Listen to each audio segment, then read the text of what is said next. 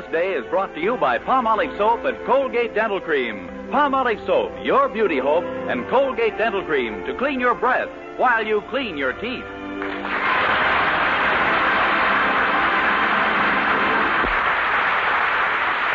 The Dennis Day Show with Barbara Eiler, Bea Benaderet, Dink Trout, George Dooning in the orchestra, and yours truly, Vern Smith, is written by Frank Galen and stars our popular young singer in A Day in the Life of Dennis Day.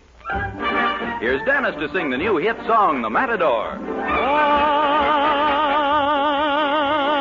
Once a matador was in the ring, pra boom chick, boom pra boom chick.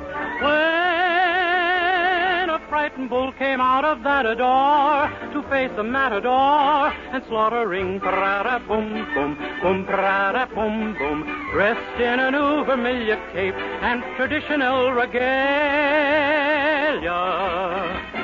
He hadn't let a bull escape, so the bull was facing failure. He moved in at an angle, and the two began to tangle as the crowd let out a roar. And to this day, no one has seen the matador. Pra-da-boom chick, boom, pra-da-boom chick. Now they cheer the bull in wild acclaim. Pra-da-boom, boom, boom, pra-da-boom, boom. Now he's standing in his pen and taking bows, and all the gorgeous cows are all aflame. Pra-da-boom, boom, pra-da-boom, boom. This 700 pounds of fake is reputed to be some steer. This is a very big mistake, for the people got a bond.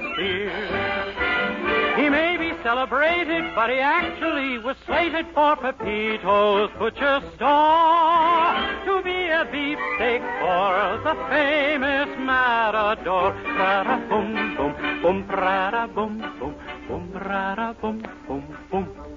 Ole!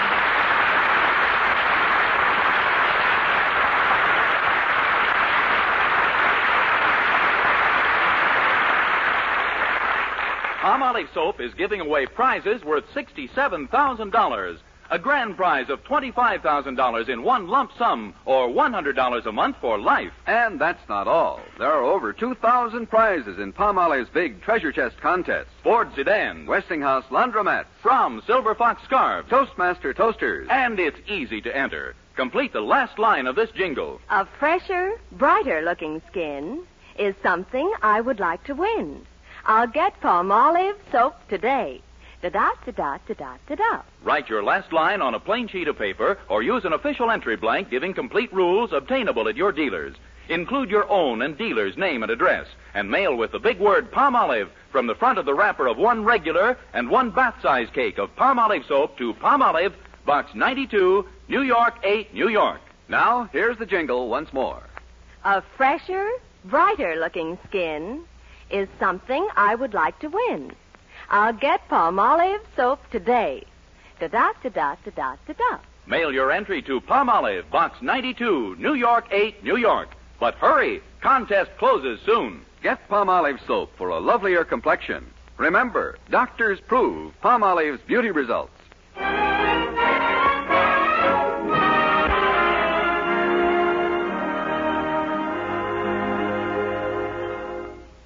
Did you ever notice that the average intelligent male mind, no matter how efficient at retaining all sorts of abstruse information, is completely incapable of remembering birthdays, anniversaries, and other events dear to a woman's heart? Well, this being the case, you would expect our young hero, Dennis Day, to remember them perfectly. But alas, in this one particular, his mind is similar to the average intelligent male's. So tomorrow, being Mildred Anderson's birthday, she finds it necessary to operate somewhat coyly, like this. Dennis, Huh? do you know what tomorrow is? Oh, naturally. Tomorrow's the day all the kids have fun bobbing for apples and burning down houses and stuff. Dennis, I know it's Halloween, but it also happens to be something else. It does? What? Well, let's put it this way. Just 21 years ago tomorrow, my mother was in the hospital, and all my father's friends were congratulating him. Well, what do you know? So he did win one of their fights.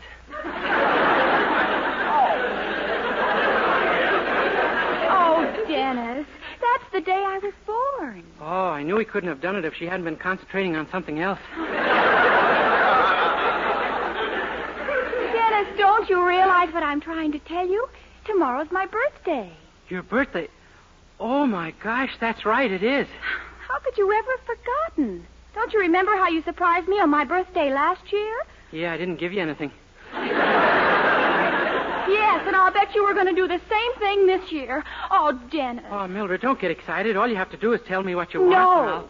It's up to you to pick out my gift with no help from me. Oh, Do you think I tell you that a new shop called Mademoiselle Yvette of Paris just opened at 128 Elm Street with the loveliest bed jackets and negligees and things I've ever seen? Do you think I'd let you know I didn't trust your judgment by hinting that's what I wanted? looks like. Well, she does have some simply divine imported lingerie, Dennis. Just ask for Mademoiselle Yvette herself. Okay, I'll I'll get a firm grip on myself and go down to her shop right now. Get a firm grip on yourself. What do you mean? Well, I've never been in a store like that before, Mildred. And, well, gosh, you know how I blush just going through the backyard on Monday mornings.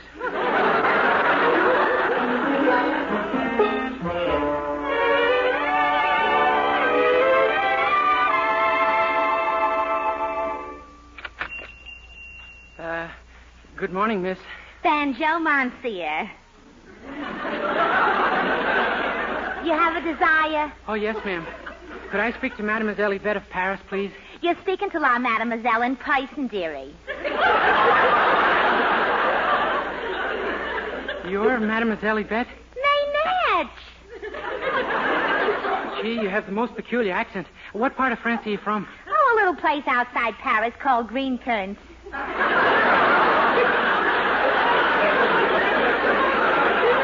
Uh, did you wish to see some merchandise, Monsieur? Well, uh, yes, ma'am. It's uh, for my girlfriend, but I, uh, I, Uh, what's the matter, bashful? uh, yes, ma'am. I understand. Well, how about a pair of these? Oh, put him down! Put him down! So what are you getting excited? There's nobody in them.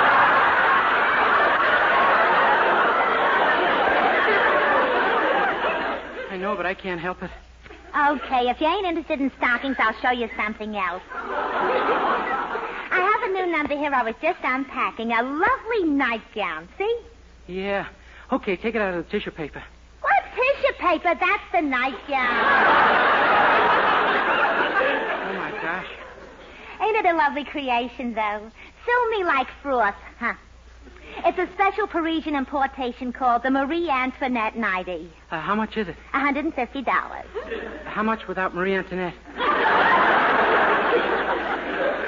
Uh, you mean 150 is too high for you, huh? Well, a little. To tell the truth, I was looking for some lingerie at around $3. Sonny, for $3 it ain't lingerie, it's underwear.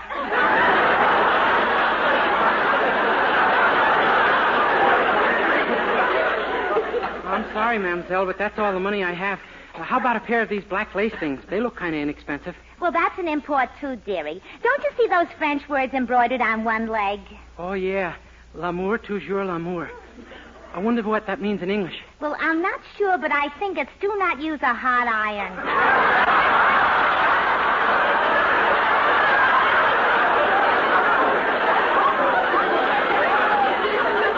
However, I doubt if those step-ins would interest you anyway. They're $85. $85.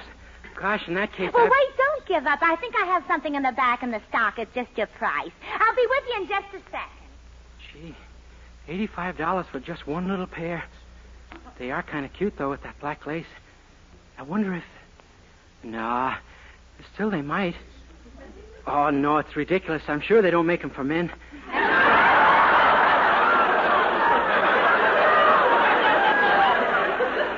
It'd sure be a sensation down at the locker room of the gym, though.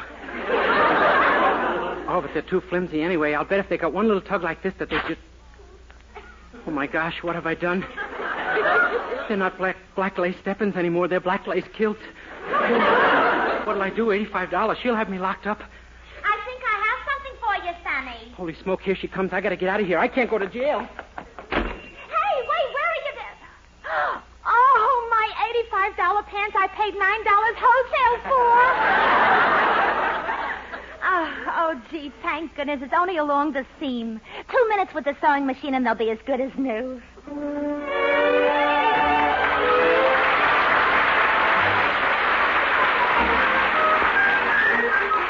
Listen, thank goodness you're home. I gotta talk to you. I'm in trouble. Oh, my, here we go again. what now, boy? Well, suppose suppose a person had an accident and then ran away from the scene of the crime. That would be pretty bad, wouldn't it? Oh, my, yes. Hit and run is a very serious offense, Dennis. Well, this wasn't exactly hit and run. It was more rip and skip. Dennis, just what kind of trouble are you in? Oh, it's bad, Mr. Anderson. Have you got eighty-five dollars you could give me right away? Eighty-five dollars? Who do you think you're talking to, the head of the family? Oh my gosh, then what can I do? Well, as I see it, you have two choices. You can try to borrow the money from my wife, or you can commit Harry Carey. Of the two, I'd say the first was the faster way to go. Mr. Anderson, I'm desperate. I'm going to try to borrow it from your wife. I'll see you later. Well, out of one eye at the very most, but good luck, my boy. Oh, thanks. Ah, good morning, Mrs. Anderson. Good morning, Dennis. Gee, you know something? I've never seen you looking so lovely. What have you done to your hair this morning? I haven't had a chance to comb it yet. Oh. Well, uh, Mrs. Anderson, I was wondering if you'd do me a tiny little favor. You see, my grandmother hasn't been feeling well. Oh, I'm sorry to hear it. Anything serious? Probably she died last night. Oh, my gracious, that's. aw- Wait a minute. Didn't you tell me one of your grandmothers passed away ten years ago and the other died before you were born? That's right. Now I need eighty-five dollars. It's time they were buried.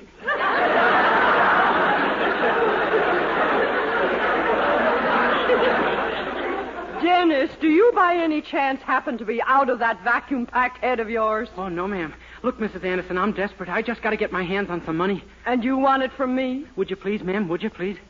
Don't be fantastic. Not a red cent will you get. But Mrs. Anderson. That's final, Dennis.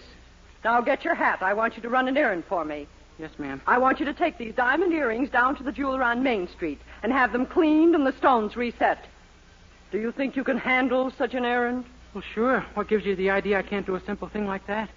We haven't time to go into that now.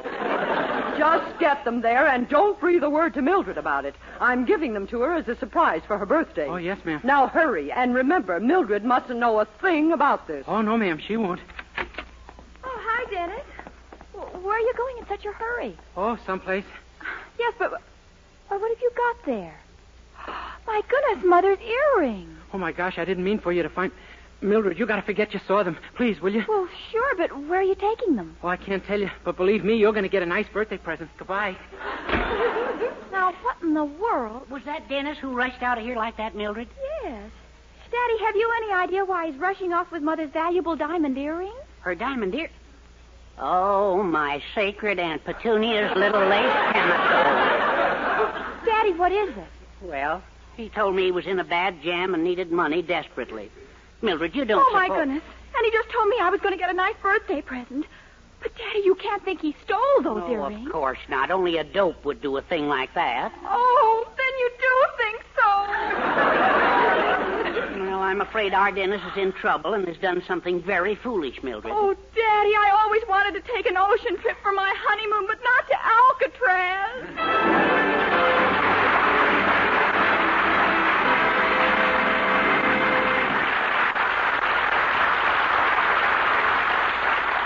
We'll continue this rather harrowing day in the life of Dennis Day in a few minutes. Meanwhile, here's Dennis to sing Every Day I Love You.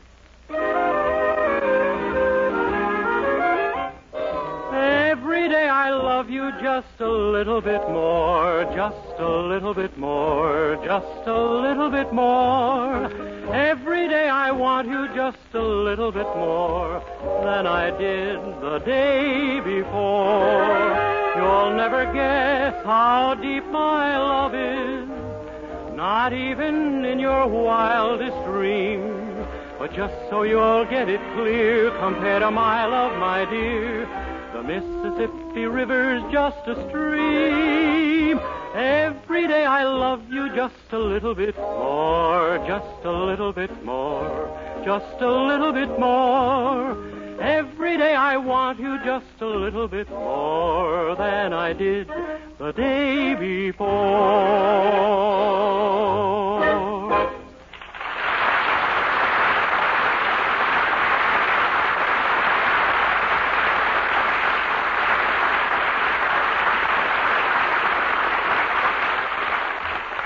Well, our Dennis is in a jam. He expects to be arrested any moment for accidentally tearing a pair of black lace step-ins in a lingerie shop.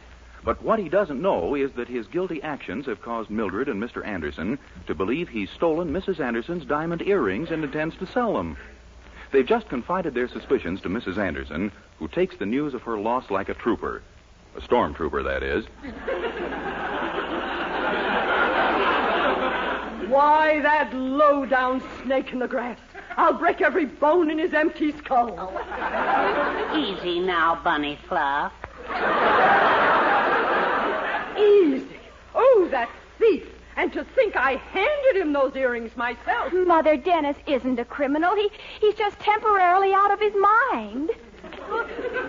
22 years is not temporary.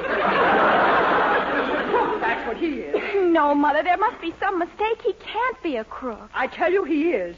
And you, you wanted to marry him. Well, I still do. I don't care what he turns out to be. I'll marry the man I love in spite of everything. That's a fine way to talk. And with the example of your mother right in front of your nose. I've decided to overlook that for any number of obvious reasons. However, the main problem right now is what to do about Dennis.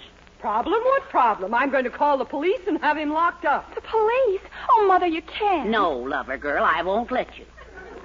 Oh, you won't let me, huh? No, Poopsie. You make one move toward that phone and you have me to deal with. You understand?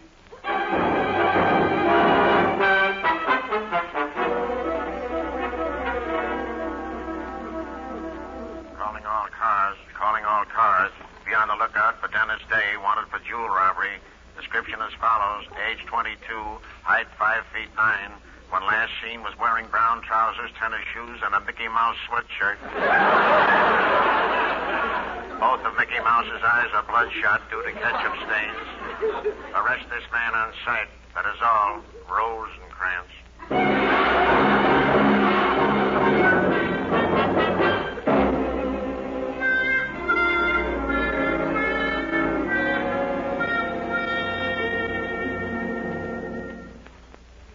Well, did the kid talk yet, Dunnigan? Yeah, yeah, sure he talked, only who can make sense out of what he's saying? What do you mean? Did you shine the light in his eyes? Yeah, yeah, but I had to quit. Found out he likes it.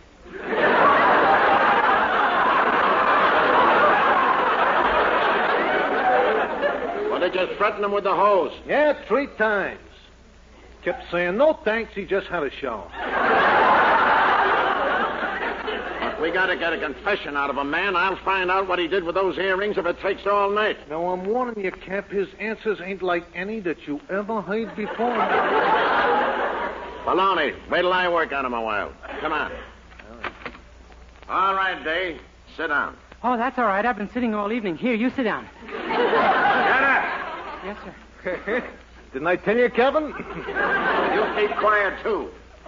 Day, have you got a record? Oh, no, sir. I don't even have a phonograph.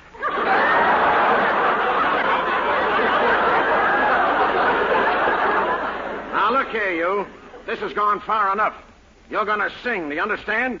I beg pardon? I'm telling you, if you know what's good for you, you'll sing. Yes, sir. Way down upon the Swanee River. Shut up! Any a Lulu, though?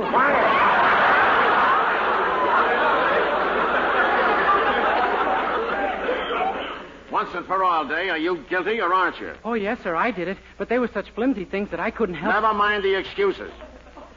What I want to know is, have you got 'em on you? Oh, no, sir.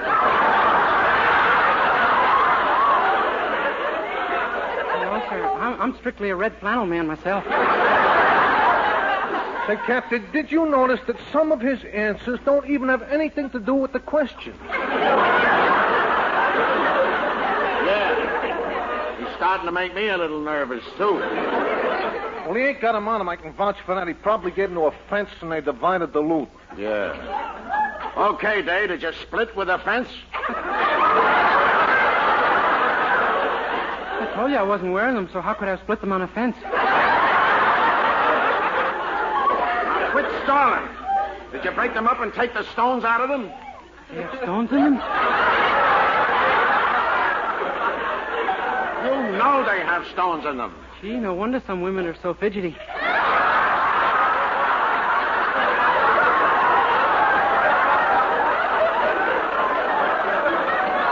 What? Now I know why you hear so much screaming on the radio when you tune in Ladies Be Seated. Well, let's get him both and let him go before we're nuts, too, ain't? Now, Day, I'm warning you for the last time. Are you going to tell us what you did with those earrings, or aren't you? Earrings? What earrings? Mrs. Anderson's earrings, of course. What do you think we pinched you for? Oh, I thought it was on account of the black lace steppins. Why do we care how you dress? All we want to know is where those earrings are. Oh, well, that's easy enough. They're at the jeweler's being fixed. Mrs. Anderson asked me to take them there for her. Oh, she asked you to take them, eh? A likely story. Oh, it's true, Sergeant. In fact, I walked right past you when I went into the jeweler's with them. It could be, Dunnigan. That's your beat. Of course, maybe the sergeant didn't notice me. He was sitting in his patrol car with a blonde. What? Now, look, look, don't listen to him, Cap. Will you- will Well, you- were you with a blonde or weren't you, Dunnigan? No, really, Cap. I'm... Come on, talk. Shall I shine the light in his eyes?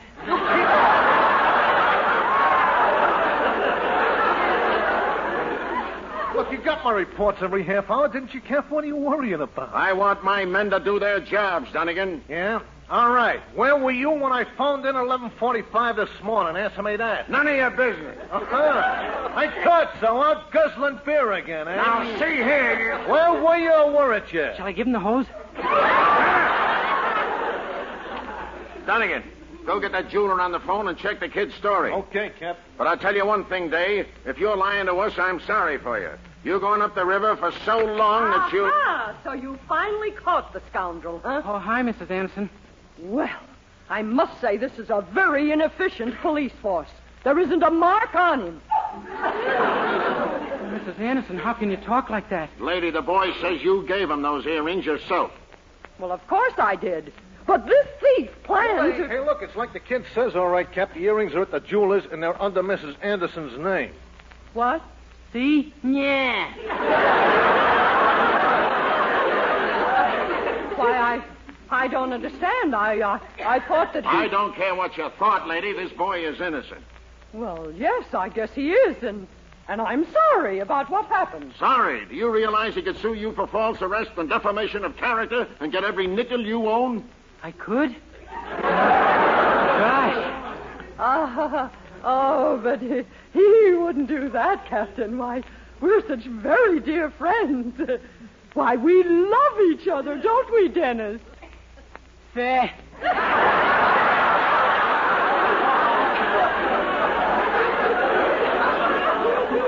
Oh, why, why, you don't mean that. I know you don't. And just as soon as we get back to my house. Whose we- house, kiddo? I mean, our house, naturally. I'll get my car right away and. Whose we- car? Our car, of course. What am I saying? you stay right here and I'll get my husband. That is, I mean. Oh, no, you can have him all to yourself. Oh, thank you, Dennis. Thank you, who? I mean, thank you, Mr. Day. Who? Very well, Pupsy.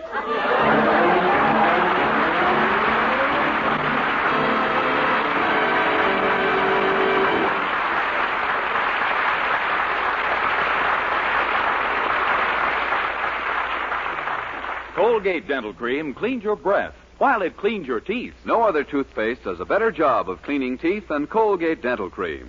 For Colgate Dental Cream has a safe polishing agent that cleans your teeth both gently and thoroughly, brings out their natural sparkle and beauty. You can actually see and feel the difference. And scientific tests prove that Colgate Dental Cream cleans your breath while it cleans your teeth. Yes, actual scientific tests prove conclusively that in seven out of ten cases, Colgate instantly stops unpleasing breath that originates in the mouth. Colgate Dental Cream is famous for its wonderful wake up flavor, too. Nationwide tests of leading toothpastes prove that Colgate's is preferred for flavor over every other brand tested. Yes, preferred over every other brand tested. And no wonder. For Colgate Dental Cream is the result of constant effort to produce the finest toothpaste in the world today. For cleaning teeth, for flavor, for sweetening breath. So see if you don't agree with the millions who have made Colgate Dental Cream America's favorite toothpaste. Try Colgate Dental Cream to bring out the natural sparkle and beauty of your teeth for a wake up flavor you'll thoroughly enjoy. And always use Colgate Dental Cream after you eat and before every date to clean your breath while you clean your teeth.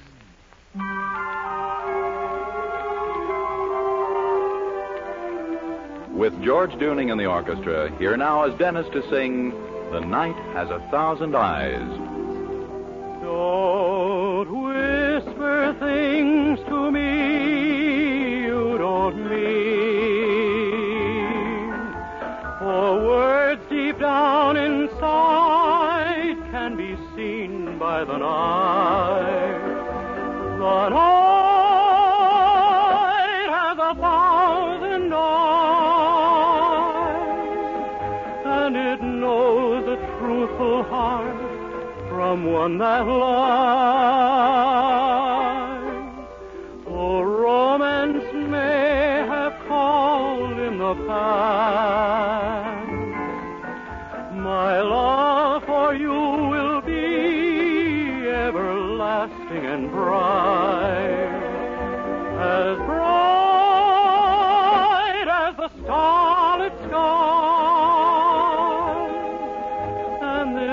wondrous night that has a thousand eyes. I've lived my life walking through a dream, for I knew that I would find this moment supreme. A night of bliss and tender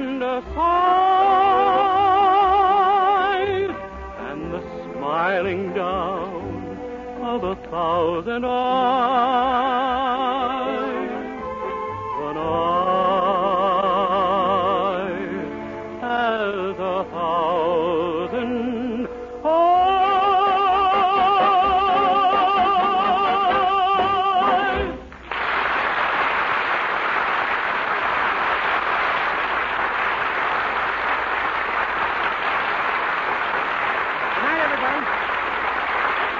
Next week, tune into another Dennis Day Show brought to you by Palmolive Soap, your beauty hope, and Colgate Dental Cream to clean your breath while you clean your teeth.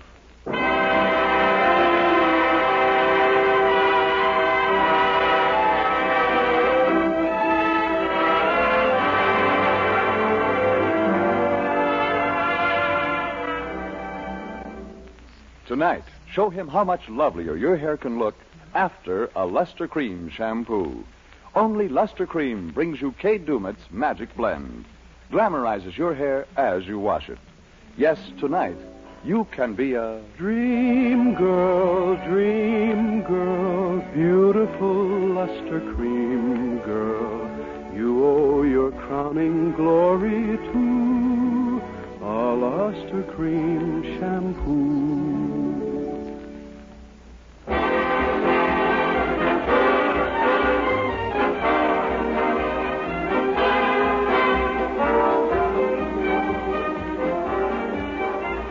Listen again next week to Colgate's Hour of Fun, Judy Canova, followed by Dennis Day. And for another great comedy program, hear Blondie next Wednesday evening over your favorite NBC station. This is Vern Smith speaking. Good night.